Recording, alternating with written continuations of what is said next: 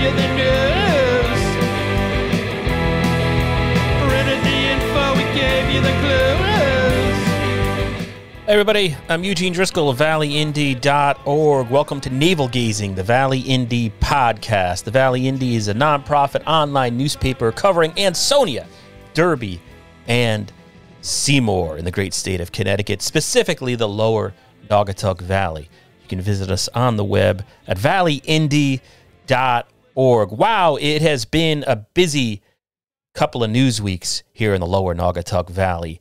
Uh, this podcast, this episode, I'm going to be playing some clips from a recent Seymour Board of Education meeting during which the school superintendent, Superintendent Susan Compton, revealed to the public that the school budget, the current school budget, has a deficit of about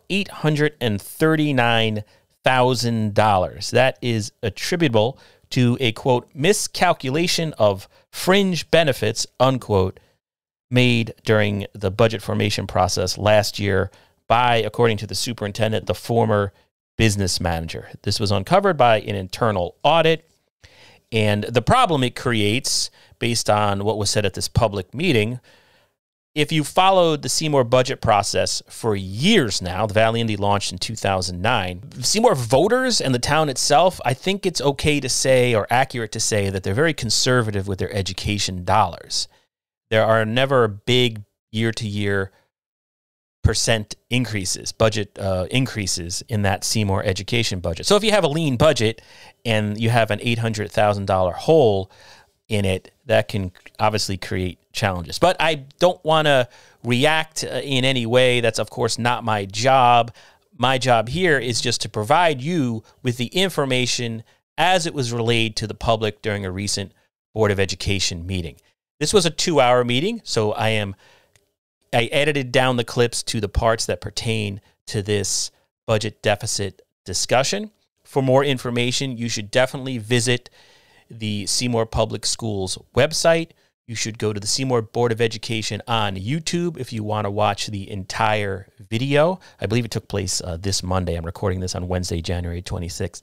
And there will be more information in a story on valleyindy.org about the Seymour Board of Education budget deficit. So, without further ado, here is the discussion that was held the other night in front of the Seymour Board of Education. You're going to hear the superintendent, Susan Compton. Then you're going to hear a business manager. His name is Salvatore Bucci or Busey. I, I apologize if I'm mispronouncing your last name. And then in the second clip, you're going to hear Board of Education member Jim Garofalo sort of react to this situation, what it means in the big picture. Seymour budget, by the way, usually goes to voters. It's a lengthy process, usually goes to voters uh, in the spring. So a lot remains to be seen. Thank you. Um, Again, economic development is crucial to a town, but the quality of the education system is right there with it.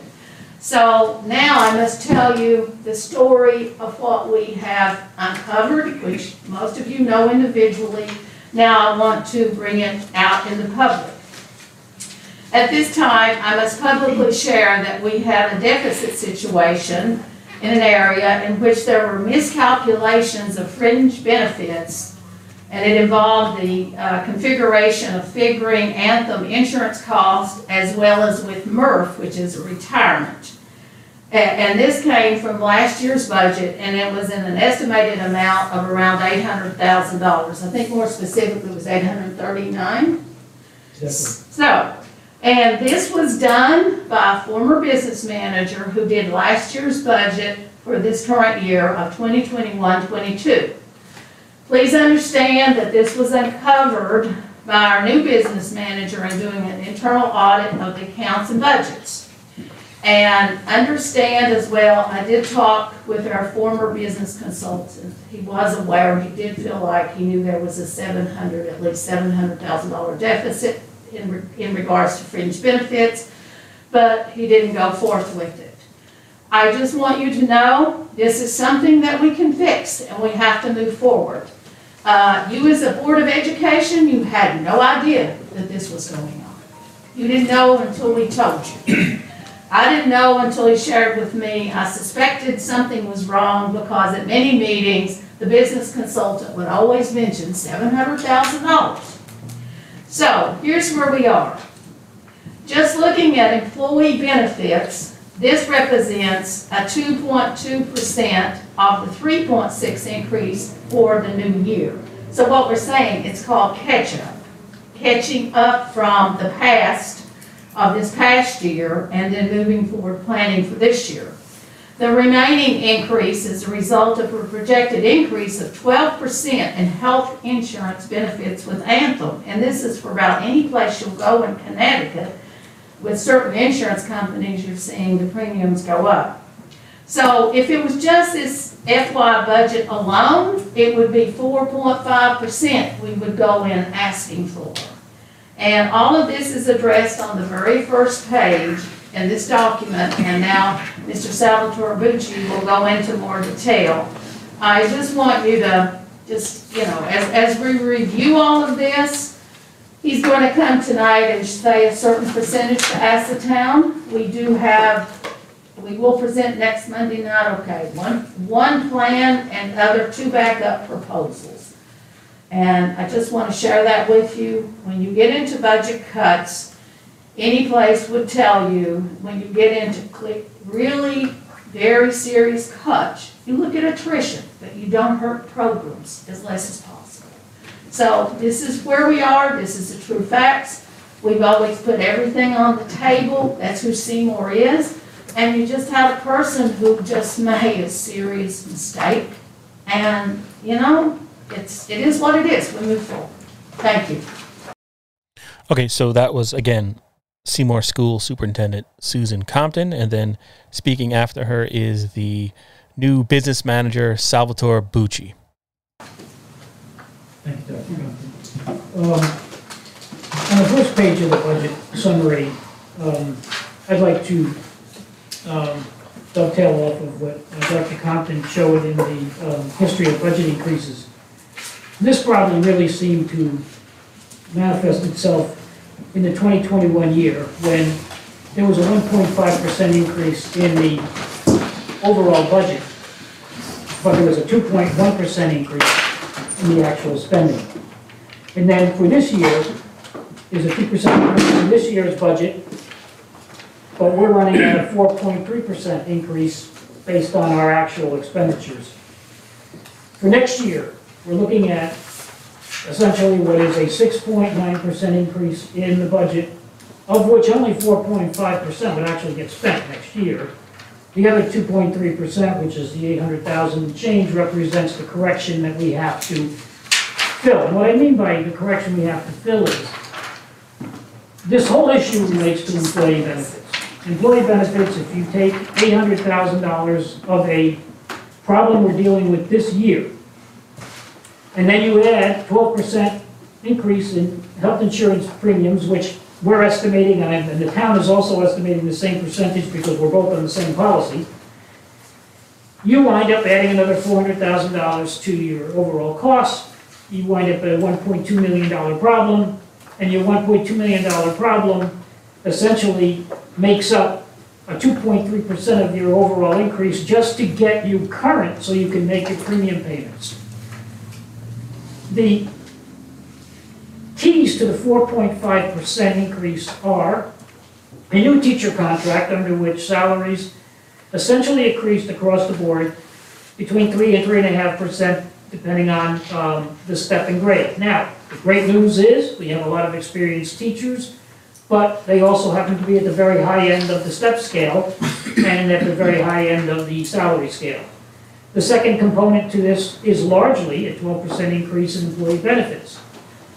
This district has roughly $23 million worth of underlying salaries. We have $7 million in employee benefits, fringe and taxes on top of that. Out of this $37 million ask, almost $30 million of it is our personnel. So when you look at what the crux of the budget is and you start looking in areas of discretionary spending, we have very little. We have essentially in this budget on top of 30 million, $2 million for um, a bus contract which has to be renewed, which essentially in this budget is flat. You have another $2 million in there roughly for special education. You have a million dollars in there, more or less, for um, utilities. Now you just added another 5 million on top of your 30 million, you're at 35 million, so what's your discretionary spending? $2 million. It's very hard to find meaningful money when you only have $2 million to work with, which by the way includes instructional books, um, technical supplies, other things you need to advance the educational mission. So at the end of the day, really what it comes down to is how painful is it going to be to be able to come within a number that um, essentially is less than 6.9%.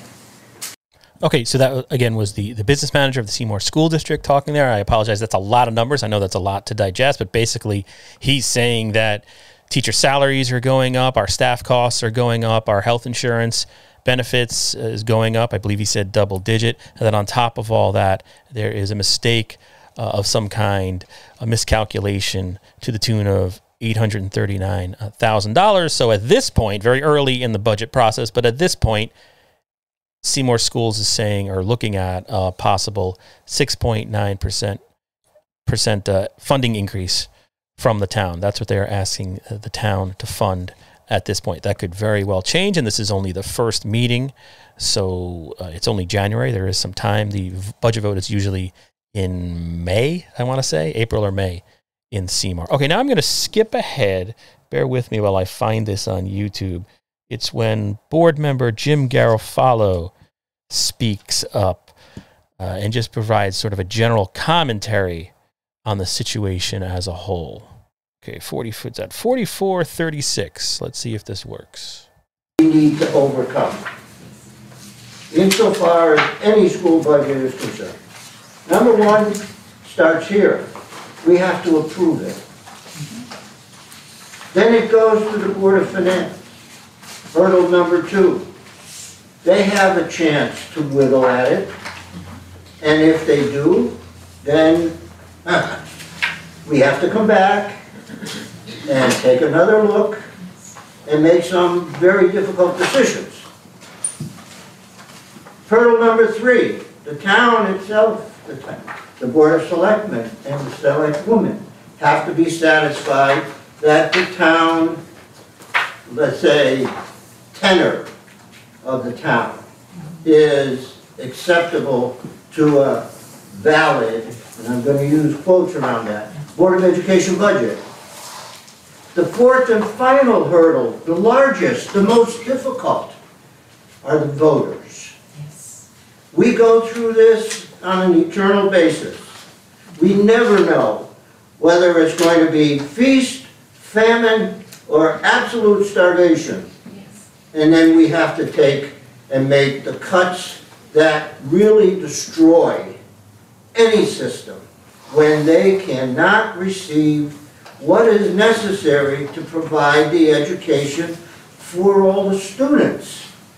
We don't generate money, just as the federal government doesn't generate. But the federal government, there's a big difference here. They can reach into every one of our pockets uh, and take what they need. And we can moan and groan, but we can't do very much about it. Nor can we do very much about a town that is unwilling to sustain the educational needs of its community.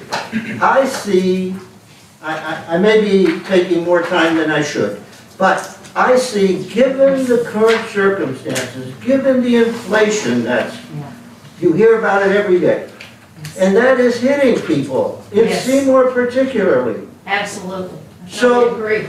So it becomes increasingly more difficult to convince people, look, you have to toughen up. You have to bite the bullet. Mm-hmm. You have to go forward regardless of whatever pain it may mean to you personally.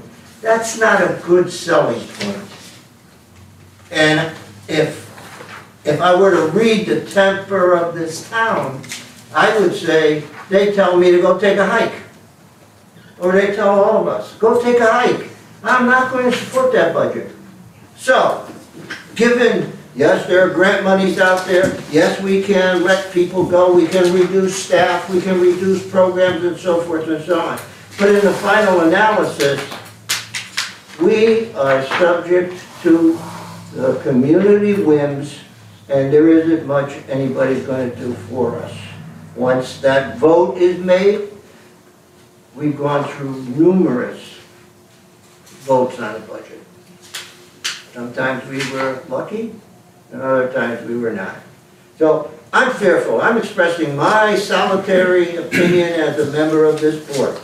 I'm very concerned. I'm very attuned to the two parents who have spoken about the uh, special ed budget.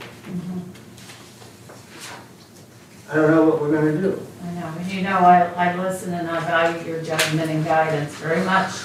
And as you all have expressed to me, the process with this budget, even as I was taking this job, what all that is involved.